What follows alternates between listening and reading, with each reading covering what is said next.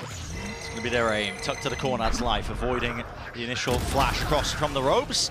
Not accurate enough to win that fight out, but dismiss in towards the back now. Underneath Rafters, plenty more players ready to try and fight him. Target-rich environment. Take your pick, take your time, son, because this is you lighting the world on fire. Life with the ace.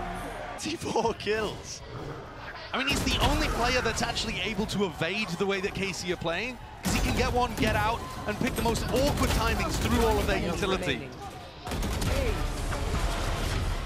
Springs out of his seat, almost, knock almost knocking it off the stage. He's feeling it. Definitely feeling it.